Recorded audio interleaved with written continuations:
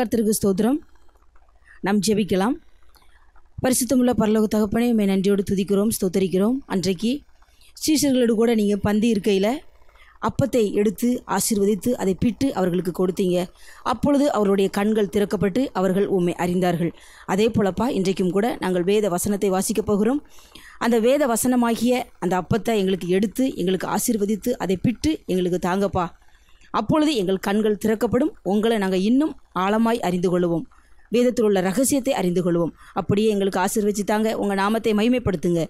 இயேசு கிறிஸ்துவின் நாமத்தினால் ஜெபிக்கிறோம். ஜீவனுள்ள நல்ல பிதாவே. ஆமேன். ஆதியாகமம் இருபத்தி நான்காம் அதிகாரம். ஆபிரகாம் வயது சென்று முதிர்ந்தவனானான். கர்த்தர் ஆபிரகாமை சகல காரியங்களிலும் ஆசிர்வதித்து வந்தார். அப்பொழுது ஆபிரகாம் தன் வீட்டில் உள்ளவர்களில் வயதில் மூத்தவனும் தனக்கு உண்டான எல்லாவற்றிற்கும் அதிகாரியும் ஆகிய தன் ஊழியக்காரனை நோக்கி நான் குடியிருக்கிற காணானியருடைய குமாரத்திகளில் நீ என் குமாரனுக்கு பெண் கொள்ளாமல் நீ என் தேசத்துக்கும் என் இனத்தாரிடத்திற்கும் போய் என் குமாரனாகிய ஈசாக்குக்கு பெண் கொள்வேன் என்று வானத்துக்கு தேவனும் பூமிக்கு தேவனும் ஆகிய கர்த்தர் பேரில் எனக்கு ஆணையிட்டு கொடுக்கும்படிக்கு நீ உன் கையை என் தொடையின் கீழ் வை என்றான். அதற்கு அந்த ஊழியக்காரன் அவ்விடத்து பெண் என் பின்னே இந்த தேசத்துக்கு வர மனதில்லாதிருந்தாள் நீர் விட்டு வந்த தேசத்திற்கு தானே உம்முடைய குமாரனை மறுபடியும் அழைத்து கொண்டு போக வேண்டுமோ? என்று கேட்டான். அதற்கு ஆபிரகாம் நீ என் குமாரனை மறுபடியும் அங்கே அழைத்து கொண்டு போகாதபடிக்கு எச்சரிக்கையாய் இரு. என்னை என் தகப்பனுடைய வீட்டிலும் என் இனத்தார் இருக்கிற தேசத்திலும் இருந்து அழைத்து வந்தவரும் உன் சந்ததிக்கு இந்த தேசத்தை தருவேன் என்று எனக்கு சொல்லி ஆணையிட்டவருமான வானத்துக்கு தேவனாகிய கர்த்தர் நீ அங்கே இருந்து என் குமாரனுக்கு ஒரு பெண்ணை கொண்டு வரும்படிக்கு தம்முடைய தூதனை உனக்கு முன்பாக அனுப்புவார். பெண் உன் பின்னே வர மனதில்லாதிருந்தாலே ஆகில் அப்பொழுது நீ இந்த என் ஆணைக்கு நீங்களாய் இருப்பாய். அங்கே மாத்திரம் என் குமாரனை மறுபடியும் அழைத்து கொண்டு போக வேண்டாம் என்றான். அப்பொழுது அந்த ஊழியக்காரன் தன் கையை தன் எஜமானாகிய ஆபரகாமுடைய தொடையின் கீழ் வைத்து இந்த காரியத்தை குறித்து அவனுக்கு ஆணையிட்டு கொடுத்தான். பின்பு அந்த ஊழியக்காரன் தன் எஜமானுடைய ஒட்டகங்களில் பத்து ஒட்டகங்களை தன்னுடனே கொண்டு போனான். தன் எஜமானுடைய சகலவித உச்சிதமான பொருள்களும் அவன் கையில் இருந்தன. அவன் எழுந்து புறப்பட்டு போய் மெசபத்தோமியாவிலே நாகோருடைய ஊரில் சேர்ந்து ஊருக்கு புறம்பே ஒரு தண்ணீர் துறவண்டையிலே தண்ணீர் மொல்ல ஸ்திரீகள் புறப்படுகிற சாயங்கால வேளையிலே ஒட்டகங்களை மடக்கி தனக்குள்ளே சொல்லி கொண்டது என்னவென்றால் என் எஜமானாகிய ஆபரகாமுக்கு தேவனாய் இருக்கிற கர்த்தாவே இன்றைக்கு நீர் எனக்கு காரியம் சித்திக்க பண்ணி என் எஜமானாகிய ஆபரகாமுக்கு தயவு செய்தருளும். இதோ நான் இந்த தண்ணீர் துறவண்டையிலே நிற்கிறேன். இந்த ஊராருடைய பெண்கள் தண்ணீர் மொல்ல புறப்பட்டு வருவார்களே. நான் குடிக்க உன் குடத்தை சாய்க்க வேண்டும் என்று நான் சொல்லும்போது குடி என்றும் உன் ஒட்டகங்களும் குடிக்கும்படி வார்ப்பேன் என்றும் சொல்லும் பெண் எவளோ அவளே நீர் உம்முடைய ஊழியக்காரனாகிய ஈசாக்குக்கு நியமித்தவளாய் இருக்கவும் என் எஜமானுக்கு அனுக்கிரகம் செய்தீர் என்று நான் அதனாலே அறியவும் செய்தருளும் என்றான். அவன் இப்படி சொல்லி முடிக்கும் முன்னே இதோ ஆபரகாமுடைய சகோதரனாகிய நாகோரின் மனைவி மில்காலுடைய குமாரனாய் இருக்கிற பெத்துவேலுக்கு பிறந்த ரெபேக்கால் குடத்தை தோள்மேல் வைத்துக்கொண்டு புறப்பட்டு வந்தாள். அந்த பெண் மகா ரூபவதியும் புருஷனை அறியாத கன்னிகையுமாய் இருந்தாள். அவள் துறவில் இறங்கி தன் குடத்தை நிரப்பிக்கொண்டு ஏறி வந்தாள். அப்பொழுது அந்த ஊழியக்காரன் அவளுக்கு எதிர்கொண்டோடி உன் குடத்தில் இருக்கிற தண்ணீரில் கொஞ்சம் குடிக்க தர வேண்டும் என்றான். அதற்கு அவள் குடியும் என் ஆண்டவனே என்று சீக்கிரமாய் குடத்தை தன் கையில் இறக்கி கொண்டு அவனுக்கு குடிக்க கொடுத்தாள். கொடுத்த பின் உம்முடைய ஒட்டகங்களும் குடித்து தீரு மட்டும் அவைகளுக்கும் மொண்டு வார்ப்பேன் என்று சொல்லி சீக்கிரமாய் தன் குடத்து தண்ணீரை தொட்டியிலே ஊற்றிவிட்டு இன்னும் மொண்டு வர துறவண்டையில் ஓடி அவனுடைய ஒட்டகங்களுக்கெல்லாம் மொண்டு வார்த்தாள். அந்த மனிதன் அவளை குறித்து ஆச்சரியப்பட்டு கர்த்தர் தன் பிரயாணத்தை வாய்க்க பண்ணினாரோ இல்லையோ என்று அறியும் பொருட்டு மௌனமாயிருந்தான் ஒட்டகங்கள் குடித்து தீர்ந்த பின் அந்த மனிதன் அரைச்சேக்கள் எடையுள்ள பொற்காதனியையும் அவள் கைகளுக்கு பத்து சேக்கள் எடை பொன்னுள்ள இரண்டு கடகங்களையும் எடுத்து கொடுத்து நீ யாருடைய மகள்? எனக்கு சொல்ல வேண்டும். நாங்கள் உன் தகப்பன் வீட்டில் ராத்தங்க இடம் உண்டா? என்றான். அதற்கு அவள் நான் நாகோருக்கு மில்கால் பெற்ற குமாரனாகிய பெத்துவேலின் மகள் என்று சொன்னதுமன்றி எங்களிடத்தில் வைக்கோலும் தீவனமும் வேண்டிய மட்டும் இருக்கிறது. ராத்தங்க இடமும் உண்டு என்றாள். அப்பொழுது அந்த மனிதன் தலைகுனிந்து கர்த்தரை பணிந்து கொண்டு என் எஜமானாகிய ஆபரகாமின் தேவனாய் இருக்கிற கர்த்தருக்கு ஸ்தோத்திரம். அவர் தம்முடைய கிருபையையும் தம்முடைய உண்மையையும் என் எஜமானை விட்டு நீக்கவில்லை. நான் பிரயாணம் பண்ணி வருகையில் கர்த்தர் என் எஜமானுடைய சகோதரர் வீட்டுக்கு என்னை அழைத்து கொண்டு வந்தார் என்றான். அந்த பெண் ஓடி இந்த காரியங்களை தன் தாயின் வீட்டில் உள்ளவர்களுக்கு அறிவித்தாள். ரெபேக்காலுக்கு ஒரு சகோதரன் இருந்தான். அவனுக்கு லாபான் என்று பெயர். அந்த லாபான் வெளியே துறவண்டையில் இருந்த அந்த மனிதனிடத்துக்கு ஓடினான். அவன் தன் சகோதரி தரித்திருந்த அந்த காதணியையும் அவள் கைகளில் போட்டிருந்த கடகங்களையும் பார்த்து இன்ன இன்னபடி அந்த மனிதன் என்னோடே பேசினான் என்று தன் சகோதரி ரெபேக்கால் சொன்ன வார்த்தைகளை கேட்ட மாத்திரத்தில் அந்த மனிதனிடத்தில் வந்தான். அவன் துறவு அருகே ஒட்டகங்கள் அண்டையில் நின்று கொண்டிருந்தான். அப்பொழுது அவன் கர்த்தரால் ஆசிர்வதிக்கப்பட்டவரே உள்ளே வாரும். நீர் வெளியே நிற்பானேன். உமக்கு வீடும் ஒட்டகங்களுக்கு இடமும் ஆயத்தம் பண்ணியிருக்கிறேன் என்றான். அப்பொழுது அந்த மனிதன் வீட்டுக்கு போனான்.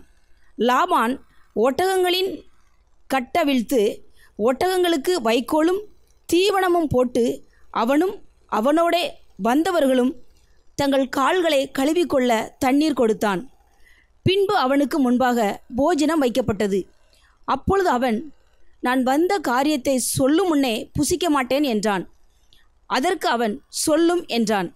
அப்பொழுது அவன் நான் ஆபரகாமுடைய ஊழியக்காரன். கர்த்தர் என் எஜமானை மிகவும் ஆசீர்வதித்திருக்கிறார். அவர் சீமானாய் இருக்கிறார். கர்த்தர் அவருக்கு ஆடு மாடுகளையும் வெள்ளியையும் பொன்னையும் வேலைக்காரரையும் வேலைக்காரிகளையும் ஒட்டகங்களையும் கழுதைகளையும் கொடுத்திருக்கிறார்.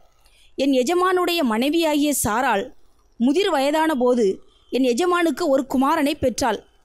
அவர் தமக்கு உண்டான யாவையும் அவனுக்கு கொடுத்திருக்கிறார். என் எஜமான் என்னை நோக்கி நான் குடியிருக்கிற கானான் தேசத்தாருடைய குமாரத்திகளில் நீ என் குமாரனுக்கு பெண் கொள்ளாமல் நீ என் தகப்பன் வீட்டுக்கும் என் இனத்தாரிடத்துக்கும் போய் என் குமாரனுக்கு பெண் கொள்ள வேண்டும் என்று ஆணையிட்டு கொடுக்கும்படி சொன்னார். அப்பொழுது நான் என் எஜமானை நோக்கி ஒருவேளை அந்த பெண் என் பின்னே வராதே போனாளோ என்று கேட்டதற்கு அவர் நான் வழிபடும் கர்த்தர் உன்னோடே தம்முடைய தூதனை அனுப்பி உன் பிரயாணத்தை வாய்க்க பண்ணுவார். என் இனத்தாரிடத்திலும் என் தகப்பன் வீட்டிலும் நீ என் குமாரனுக்கு பெண் கொள்வாய். நீ என் இனத்தாரிடத்துக்கு போனால் என் ஆணைக்கு நீங்களாயிருப்பாய். அவர்கள் உனக்கு பெண் கொடாமற் போனாலும் நீ என் ஆணைக்கு நீங்களாய் இருப்பாய் என்றார். அப்படியே நான் இன்று துறவண்டையிலே வந்து என் எஜமானாகிய ஆபரகாமின் தேவனாகிய கர்த்தரே என் பிரயாணத்தை நீர் இப்பொழுது வாய்க்க பண்ணுவீரானால் இதோ நான் தண்ணீர் துறவண்டையிலே நிற்கிறேன். தண்ணீர் மொல்ல வரப்போகிற கன்னிகையை நான் நோக்கி உன் குடத்தில் இருக்கிற தண்ணீரில் கொஞ்சம் எனக்கு குடிக்க தர வேண்டும் என்று கேட்கும்போது நீ குடி என்றும் உன் ஒட்டகங்களுக்கும் மொண்டு வார்ப்பேன் என்றும் சொல்லும் பெண்ணே கர்த்தர் என் எஜமானுடைய குமாரனுக்கு நியமித்த ஸ்திரீயாக வேண்டும் என்றேன். நான் இதை என் இருதயத்தில் சொல்லி முடிக்கும் முன்னே இதோ ரெபேக்கால் தன் குடத்தை தோள்மேல் வைத்துக்கொண்டு புறப்பட்டு வந்து துறவில் இறங்கி போய் தண்ணீர் மொண்டாள். அப்பொழுது நான் எனக்கு குடிக்க தர வேண்டும் என்றேன். அவள் சீக்கிரமாய் தன் தோள்மேல் இருந்த குடத்தை இறக்கி குடியும் உம்முடைய ஒட்டகங்களுக்கும் வார்ப்பேன் என்றாள். நான் குடித்தேன் ஒட்டகங்களுக்கும் வார்த்தாள் அப்பொழுது நீ யாருடைய மகள் என்று அவளை கேட்டேன். அதற்கு அவள் நான் மில்கால் நாகோருக்கு பெற்ற குமாரனாகிய பெத்துவேலின் மகள் என்றாள். அப்பொழுது அவளுக்கு காதனியையும் அவள் கைகளிலே கடகங்களையும் போட்டு தலை குனிந்து கர்த்தரை பணிந்து கொண்டு நான் என் எஜமானுடைய சகோதரன் குமாரத்தியை அவர் குமாரனுக்கு கொல்ல என்னை நேர்வழியாய் நடத்தி வந்த என் எஜமானாகிய ஆபரகாமின் தேவனாயிருக்கிற கர்த்தரை ஸ்தோத்தரித்தேன். இப்பொழுதும் நீங்களும் என் எஜமானுக்கு தயையும் உண்மையும் உடையவர்களாய் நடக்க மனதுள்ளவர்களானால் எனக்கு சொல்லுங்கள். இல்லை என்றால் அதையும் எனக்கு சொல்லுங்கள். அப்பொழுது நான் வலதுபுறத்தையாகிலும் இடதுபுறத்தையாகிலும் நோக்கி போவேன் என்றான். அப்பொழுது லாபானும் பெத்துவேலும் பிரதியுத்தரமாக இந்த காரியம் கர்த்தரால் வந்தது. உமக்கு நாங்கள் நலம் போலம் ஒன்றும் சொல்லக்கூடாது. இதோ ரெபேக்கால் உமக்கு முன்பாக இருக்கிறாள். கர்த்தர் சொன்னபடியே அவள் உமது எஜமானுடைய குமாரனுக்கு மனைவியாகும்படிக்கு அவளை அழைத்து கொண்டு போம் என்றார்கள். ஆபரகாமின் ஊழியக்காரன் அவர்கள் வார்த்தைகளை கேட்டபோது தரைமட்டும் குனிந்து கர்த்தரை பணிந்து கொண்டான். பின்பு அந்த ஊழியக்காரன் வெள்ளியுடைமைகளையும் பொன்னுடைமைகளையும் வஸ்திரங்களையும் எடுத்து ரெபேக்காளுக்கு கொடுத்ததுமன்றி அவளுடைய சகோதரனுக்கும் தாய்க்கும் சில உச்சிதங்களையும் கொடுத்தான். பின்பு அவனும் அவனோடு இருந்த மனிதரும் புசித்து குடித்து ராத்தங்கினார்கள் காலையிலே எழுந்திருந்து அவன் என் எஜமானிடத்துக்கு என்னை அனுப்பிவிடுங்கள் என்றான். அப்பொழுது அவள் சகோதரனும் அவள் தாயும் பத்து நாளாகிலும் பெண் எங்களோடு இருக்கட்டும். பிற்பாடு போகலாம் என்றார்கள். அதற்கு அவன் கர்த்தர் என் பிரயாணத்தை வாய்க்க பண்ணியிருக்க நீங்கள் எனக்கு தடை செய்யாதிருங்கள். நான் என் எஜமானிடத்துக்கு போக என்னை அனுப்பிவிட வேண்டும் என்றான். அப்பொழுது அவர்கள் பெண்ணை அழைத்து அவள் வாய்ப்பிறப்பை கேட்போம் என்று சொல்லி ரெபேக்காலை அழைத்து நீ இந்த மனிதனோடே கூட போகிறாயா? என்று கேட்டார்கள். அவள் போகிறேன் என்றாள். அப்படியே அவர்கள் தங்கள் சகோதரியாகிய ரெபேக்காலையும் அவள் தாதியையும் ஆபரகாமின் ஊழியக்காரனையும் அவன் மனிதரையும் அனுப்புவித்து ரெபேக்காலை வாழ்த்தி எங்கள் சகோதரியே நீ கோடா கோடியாய் பெருகுவாயாக. உன் சந்ததியார் தங்கள் பகையினருடைய வாசல்களை சுதந்திரித்துக் கொள்வார்களாக? என்று ஆசீர்வதித்தார்கள். அப்பொழுது ரெபேக்காலும் அவள் வேலைக்காரிகளும் எழுந்து ஒட்டகங்கள் மேல் ஏறி அந்த மனிதனோடே கூட போனார்கள். ஊழியக்காரன் ரெபேக்காலை அழைத்து கொண்டு போனான். ஈசாக்கு தென் தேசத்தில் குடியிருந்தான். அப்பொழுது அவன் லகாய் ரோயி எனப்பட்ட துறவின் வழியாய் புறப்பட்டு வந்தான். ஈசாக்கு சாயங்கால வேளையிலே தியானம் பண்ண வெளியிலே போயிருந்து தன் கண்களை ஏறெடுத்து பார்த்தபோது ஒட்டகங்கள் வர கண்டான். ரெபேக்காலும் தன் கண்களை ஏறெடுத்து ஈசாக்கை கண்டபோது ஊழியக்காரனை நோக்கி அங்கே வெளியிலே நமக்கு எதிராக நடந்து வருகிற அந்த மனிதன் யார்? என்று கேட்டாள். அவர்தான் என் எஜமான் என்று ஊழியக்காரன் சொன்னான். அப்பொழுது அவள் ஒட்டகத்தை விட்டிறங்கி முக்காடிட்டு கொண்டாள். ஊழியக்காரன் தான் செய்த சகல காரியங்களையும் ஈசாக்குக்கு விவரித்து சொன்னான். அப்பொழுது ஈசாக்கு ரெபேக்காலை தன் தாய் சாராளுடைய கூடாரத்துக்கு அழைத்து கொண்டு போய் அவளை தனக்கு மனைவியாக்கி கொண்டு அவளை நேசித்தான். ஈசாக்கு தன் தாய்க்காக கொண்டிருந்த துக்கம் நீங்கி ஆறுதல் அடைந்தான். ஆமேன். மத்தேயு பதிமூன்றாம் அதிகாரம் ஒன்னிலிருந்து முப்பது வசனங்கள். இயேசு அன்றைய தினமே வீட்டிலிருந்து புறப்பட்டு போய் கடலோரத்திலே உட்கார்ந்தார். திரளான ஜனங்கள் அவரிடத்தில் கூடி வந்தபடியால் அவர் படவில் ஏறி உட்கார்ந்தார். ஜனங்கள் எல்லாரும் கரையிலே நின்றார்கள். அவர் அநேக விசேஷங்களை ஊமைகளாக அவர்களுக்கு சொன்னார். கேளுங்கள் விதைக்கிறவன் ஒருவன் விதைக்க புறப்பட்டான். அவன் விதைக்கையில் சில விதை வழியருகே விழுந்தது. பறவைகள் வந்து அதை பட்சித்து போட்டது. சில விதை அதிக மண்ணில்லாத கற்பாறை இடங்களில் விழுந்தது. மண் ஆழமாய் இராததினாலே அது சீக்கிரமாய் முளைத்தது. வெயில் ஏறின போதோ தீந்து போய் வேறில்லாமையால் உலர்ந்து போயிற்று. சில விதை முள்ளுள்ள இடங்களில் விழுந்தது. முள் வளர்ந்து அதை நெருக்கி போட்டது. சில விதையோ நல்ல நிலத்தில் விழுந்து சிலது நூறாகவும் சிலது அறுபதாகவும் சிலது முப்பதாகவும் பலன் தந்தது. கேட்கிறதற்கு காதுள்ளவன் கேட்க கடவன் என்றார். அப்பொழுது சீஷர்கள் அவரிடத்தில் வந்து ஏன் அவர்களோட ஊமைகளாக பேசுகிறீர்? என்று கேட்டார்கள். அவர்களுக்கு அவர் பிரதியுத்தரமாக பரலோக ராஜ்யத்தின் ரகசியங்களை அறியும்படி உங்களுக்கு அருளப்பட்டது. அவர்களுக்கோ அருளப்படவில்லை. உள்ளவன் எவனோ அவனுக்கு கொடுக்கப்படும். பரிபூரணமும் அடைவான். இல்லாதவன் எவனோ அவனிடத்தில் உள்ளதும் எடுத்துக்கொள்ளப்படும் அவர்கள் கண்டும் காணாதவர்களாயும் கேட்டும் கேளாதவர்களாயும் உணர்ந்து கொள்ளாதவர்களாயும் இருக்கிறபடியினால் நான் ஓமைகளாக அவர்களோடே பேசுகிறேன். ஏசாயாவின் தீர்க்க தரிசனம் அவர்களிடத்தில் நிறைவேறுகிறது. அதாவது காதார கேட்டும் உணராதிருப்பீர்கள் கண்ணார கண்டும் அறியாதிருப்பீர்கள். இந்த ஜனங்கள் கண்களினால் காணாமலும் காதுகளினால் கேளாமலும் இருதயத்தினால் உணர்ந்து மனம் திரும்பாமலும் நான் அவர்களை ஆரோக்கியமாக்காமலும் இருக்கும்படியாக அவர்கள் இருதயம் கொளுத்திருக்கிறது. காதால் மந்தமாய் கேட்டு தங்கள் கண்களை மூடிக்கொண்டார்கள் என்பதே. உங்கள் கண்கள் காண்கிறதினாலும் உங்கள் காதுகள் கேட்கிறதினாலும் அவைகள் பாக்கியமுள்ளவைகள். அநேக தீர்க்கதரிசிகளும் நீதிமான்களும் நீங்கள் காண்கிறவைகளை காணவும் நீங்கள் கேட்கிறவைகளை கேட்கவும் விரும்பியும் காணாமலும் கேளாமலும் போனார்கள் என்று மெய்யாகவே உங்களுக்கு சொல்லுகிறேன். ஆகையால் விதைக்கிறவனை பற்றிய ஓமையை கேளுங்கள். ஒருவன் ராஜ்யத்தின் வசனத்தை கேட்டும் உணராதிருக்கும்போது பொல்லாங்கன் வந்து அவன் இருதயத்தில் விதைக்கப்பட்டதை பறித்து கொள்ளுகிறான். அவனே வழியருகே விதைக்கப்பட்டவன். கற்பாறை இடங்களில் விதைக்கப்பட்டவன் வசனத்தை கேட்டு உடனே அதை சந்தோஷத்தோடே ஏற்றுக்கொள்ளுகிறான். ஆயிலும் தனக்குள்ளே வேறில்லாதவனாய் கொஞ்ச காலம் மாத்திரம் நிலைத்திருப்பான். வசனத்து நிமித்தம் உபத்திரவமும் துன்பமும் உண்டான உடனே இடரல் அடைவான். முள்ளுள்ள இடங்களில் விதைக்கப்பட்டவன் வசனத்தை கேட்கிறவனாயிருந்தும் உலக கவலையும் ஐஸ்வர்யத்தின் மயக்கமும் வசனத்தை நெருக்கு போடுகிறதினால் அவனும் பலனற்று போவான். நல்ல நிலத்தில் விதைக்கப்பட்டவனோ வசனத்தை கேட்கிறவனும் உணருகிறவனுமாயிருந்து நூறாகவும் அறுபதாகவும் முப்பதாகவும் பலன் தருவான் என்றார். வேறொரு ஓமையை அவர்களுக்கு சொன்னார். பரலோக ராஜ்யம் தன் நிலத்தில் நல்ல விதையை விதைத்த மனுஷனுக்கு ஒப்பாய் இருக்கிறது மனுஷர் நித்திரை பண்ணுகையில் அவனுடைய சத்துரு வந்து கோதுமைக்குள் களைகளை விதைத்துவிட்டு போனான். பயிரானது வளர்ந்து கதிர்விட்ட போது களைகளும் காணப்பட்டது.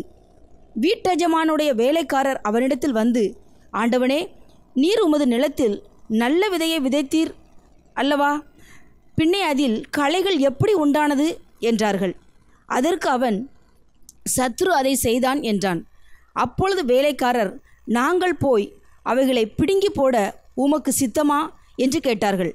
அதற்கு அவன் வேண்டாம் களைகளை பிடுங்கும்போது நீங்கள் கோதுமையையும் கூட வேரோடே பிடுங்காதபடிக்கு இரண்டையும் அறுப்பு மட்டும் வளர விடுங்கள் அறுப்பு காலத்தில் நான் அறுக்கிறவர்களை நோக்கி முதலாவது களைகளை பிடுங்கி அவைகளை சுட்டரிக்கிறதற்கு கட்டுகளாக கட்டுங்கள். கோதுமையையோ என் களஞ்சியத்தில் சேர்த்து வையுங்கள் என்பேன் என்று சொன்னான் என்றார். ஆமேன். நீதிமொழிகள் பதிமூன்றாம் அதிகாரம். ஞானமுள்ள மகன் தகப்பனுடைய போதகத்தை கேட்கிறான். பரியாசக்காரனோ கடிந்து கொள்ளுதலுக்கு செவிகொடான் மனுஷன் தன் வாயின் பலனால் நன்மையை புசிப்பான். துரோகிகளின் ஆத்துமாவோ கொடுமையை புசிக்கும். தன் வாயை காக்கிறவன் தன் பிராணனை காக்கிறான். தன் உதடுகளை விரிவாய் திறக்கிறவனோ கலக்கமடைவான். சோம்பேறியுடைய ஆத்துமா விரும்பியும் ஒன்றும் பெறாது. ஜாக்கிரதை உள்ளவர்களுடைய ஆத்துமாவோ புஷ்டியாகும். நீதிமான் பொய்ப்பேச்சை வெறுக்கிறான். துன்மார்க்கனோ வெட்கமும் லச்சையும் உண்டாக்குகிறான். நீதி உத்தமம் மார்க்கத்தானே தற்காக்கும். துன்மார்க்கமோ பாவியை கவிழ்த்து போடும். ஒன்றுமில்லாதிருக்க தன்னை செல்வனாக பாராட்டுகிறவனும் உண்டு. மிகுந்த செல்வம் இருக்க தன்னை தரித்திரனாக பாராட்டுகிறவனும் உண்டு. மனுஷனுடைய ஐஸ்வர்யம் அவன் பிராணனை மீட்கும். தரித்திரனோ மிரட்டுதலை கேளாதிருக்கிறான். நீதிமான்களின் வெளிச்சம் சந்தோஷிப்பிக்கும். துன்மார்க்கரின் தீபமோ அணைந்து போம் அகந்தையினால் மாத்திரம் வாது பிறக்கும். ஆலோசனையை கேட்கிறவர்களிடத்திலோ ஞானம் உண்டு. வஞ்சனையினால் தேடின பொருள் குறைந்து போம் கைப்பாடாய் சேர்க்கிறவனோ விருத்தி அடைவான். நெடுங்காலமாய் காத்திருக்குதல் இருதயத்தில் இழைக்க பண்ணும். விரும்பினது வரும்போதோ ஜீவ விருட்சம் போல் இருக்கும். திருவசனத்தை அவமதிக்கிறவன் நாசமடைவான். கற்பனைக்கு பயப்படுகிறவனோ பலனடைவான். ஞானவான்களுடைய போதகம் ஜீவ ஊற்று அதனால் மரண கண்ணிகளுக்கு தப்பலாம். நற்புத்தி தயையை உண்டாக்கும். துரோகிகளுடைய வழியோ கரடு முரடானது. விவேகியானவன் அறிவோடு நடந்து கொள்ளுகிறான். மூடனோ தன் மூடத்தனத்தை வெளிப்படுத்துகிறான். துரோகமுள்ள தூதன் தீதிலே விழுவான். உண்மையுள்ள ஸ்தானாபதியோ ஔஷதம்.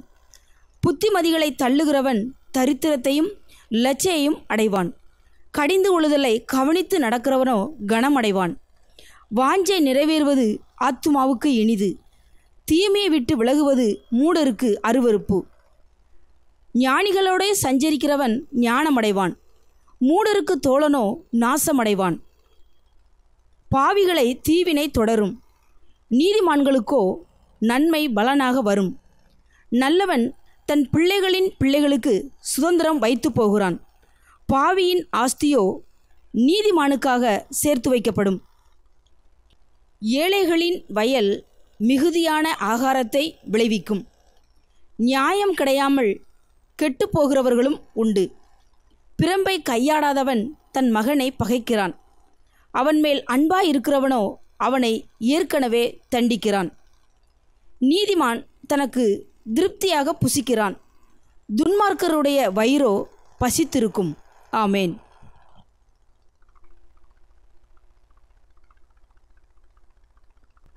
ஜெபம். பரிசுத்தமுள்ள பரலோக தகப்பனே உண்மை நன்றியோடு துதிக்கிறோம் ஸ்தோத்தரிக்கிறோம். இன்றைக்கும் கூட அப்பா ஸ்தோத்திரம். நாங்கள் வேத வாசிப்பு பகுதியிலிருந்து உங்களுடைய சமூகத்தில் நாங்கள் ஜெபிக்கிறோம். ஆண்டவரே உமக்கு நன்றி செலுத்துகிறோம்.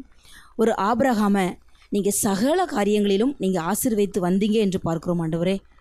அப்பா நீங்கள் கொடுக்குற ஆசீர்வாதம் சகல காரியங்களிலும் கொடுக்குற ஆசிர்வாதம். நீங்கள் ஆசீர்வைத்து வந்தீங்க என்று சொல்லியிருக்கு பார்க்குறோம். அது தொடர்ச்சியாக எங்களுக்கு தருகிற ஆசிர்வாதம் ஆண்டவரே.